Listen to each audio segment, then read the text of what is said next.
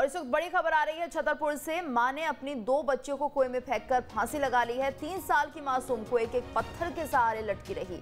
स्थानीय लोगों ने बच्ची की जान बचा ली है। सटई थाना क्षेत्र के परवा गाँव की घटना है। मामले की छानबीन में पुलिस जुट गई है। तो छतरपुर से बड़ी खबर, जहाँ पर दो मासूम बच्चियों को कुएँ में फेंककर माँ ने फांसी लगा ली है। स्थानीय लोगों ने एक बच्ची की जान बचाई है। सटई थाना क्षेत्र के परवा गाँव की ये घटना बताई जा रही है। छतरपुर से खबर, जहाँ पर फ़िलहाल पूरे मामले की छानबीन में पुलिस जुटी हुई है। कि आखिर क्या कारण रहे, जिसके चलते इस महिला ने फांसी लगा ली, माँ ने अपनी दो बच्चियों को कुएँ में फेंक दिया और उसके बाद खुद फांसी लगा ली।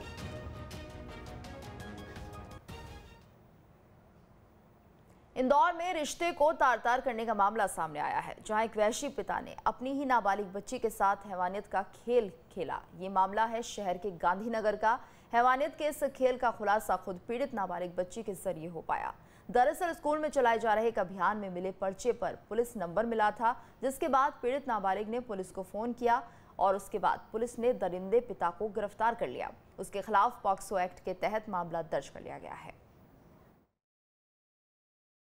मेरे शासकीय नंबर पर एक छोटी बच्ची का फ़ोन आया और उस मैडम मैडम तो मुझे लगा कि कोई छोटा बच्चा मतलब बोल रहा है। तो मैंने कहा हाँ बेटा, बोलो। तो उसने बोला, मैडम आप मुझे सेव करोगे, आप मुझे मेरे पास आओगे? तो मैंने कहा, बेटा, बताओ क्या हुआ है? तो उसका कहना ये था कि मेरे पापा बहुत गंदी हरकत करते हैं।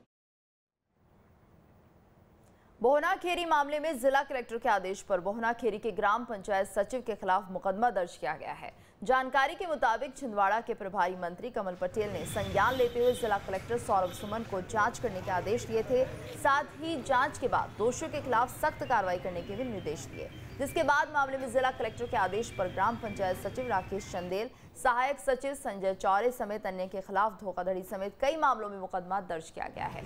इसके अलावा जिला कलेक्टर ने क्षेत्रीय पंचायत समन्वयक अधिकारी मुकेश अंधवान को भी निलंबित कर दिया। मैंने तत्काल एक्शन लेने के लिए कलेक्टर को निर्देशित किया था कि ग्राम पंचायत भवना खेरी के रोज़गार सहायक को तत्काल बर्खास्त करो, सचिव को निलंबित करो समन्वयक और जो भी दोषी अधिकारी हैं उनको निलंबन करने की कार्रवाई करें एफ़ एफआईआर कराएँ और इनको नौकरी से बर्खास्त करें और इनको जेल भिजवाएँ। क्योंकि ऐसे लोग कलंक हैं समाज के लिए, जो ज़िंदा लोगों को मार देते हैं और पैसे निकाल कर हजम कर जाते हैं। और ये एक साजिश की तरह षड्यंत्र पूर्वक सब लोगों ने मिलकर किया है। अलीराजपुर से महिलाओं के बीच मारपीट का मामला सामने आया। बताया जा रहा है कि ग्राहक को लेकर महिलाएँ आपस में ही भिड़ गईं। देखते ही देखते मामला बढ़ता गया और महिलाओं के समर्थन में पुरुष भी आ गए। नौबत यहाँ तक आ गई कि महिलाओं ने डंडे तक उठा लिए। वहीं बचाव में एक महिला ने लाल मिर्च तक उड़ाई। फ़िलहाल पुलिस ने दोनों पक्षों के खिलाफ मामला दर्ज कर लिया है और पुलिस आगे की कार्रवाई में जुट गई है।